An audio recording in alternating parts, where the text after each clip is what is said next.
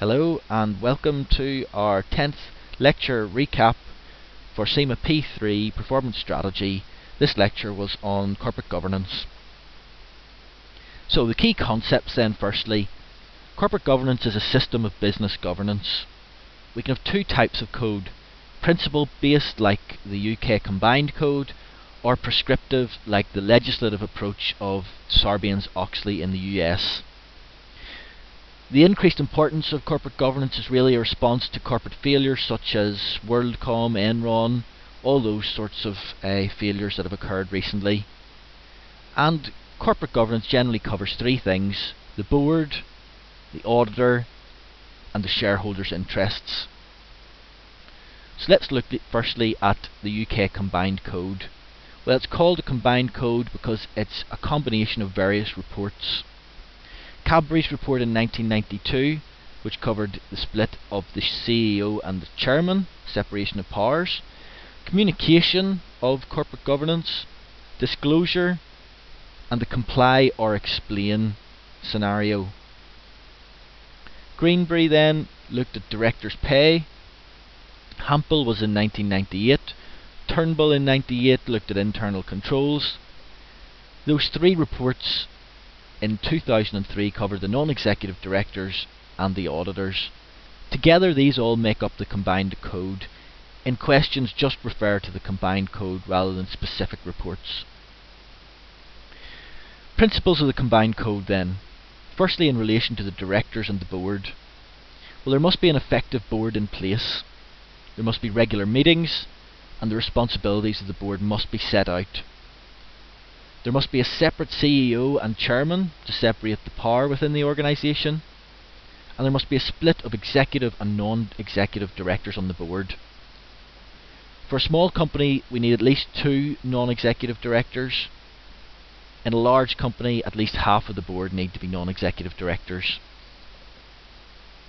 The board needs to produce timely information. It needs to have a formal, transparent nomination process it should have an induction process for new directors, performance evaluation for current directors, and they should be re-elected regularly so they don't just have a permanent seat on the board. Remuneration then.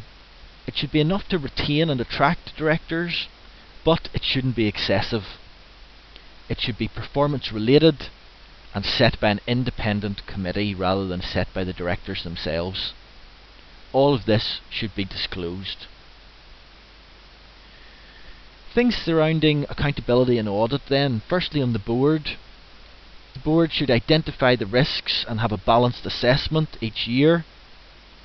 And it should appoint an audit committee.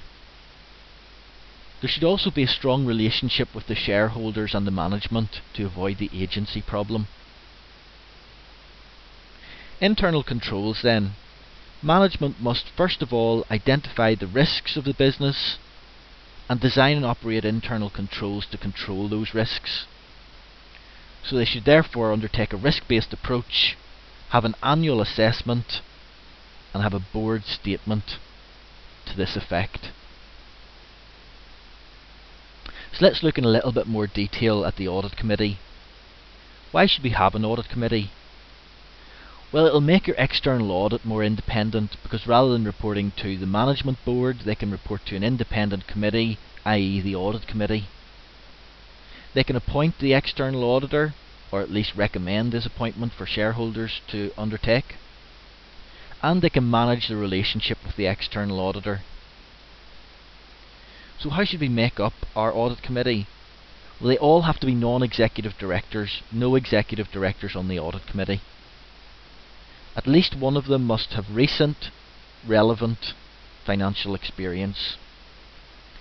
They should have at least three meetings per annum and at least one meeting in the year with the auditors with no executive directors present. The sorts of things that the audit committee are responsible for then. Firstly, reviewing the financial statements to ensure that they comply with whatever legislation or standards they're prepared under. They should review the internal control system. They should liaise with the external auditor. They'll review the internal audit reports that we've talked about previously. They'll discuss and set the audit fee. And they'll provide a whistleblowing function for the whole organisation and for internal audit. So how does the audit committee have a relationship with internal audit? Well, firstly, the audit committee will consider having an internal audit function at least once a year if they don't have one already. They'll appoint the head of internal audit. They'll review and assess the work of internal audit. And they'll assess the management response to internal audit reports, i.e. do management implement what internal audit tell them how does the audit committee relate to external audit?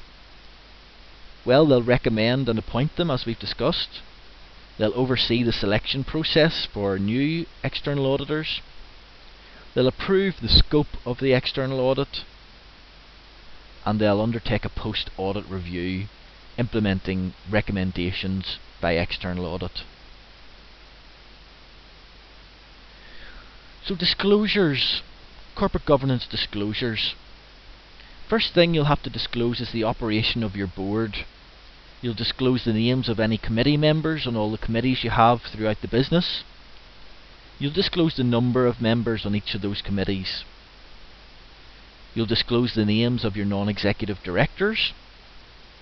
Your board performance will be assessed. You'll disclose the work of the nomination committee and the Remuneration Committee. You'll have a going concern disclosure stating that the business is a going concern. And you'll consider the need for an internal audit department if you don't already have one. So that was lecture 10 on corporate governance.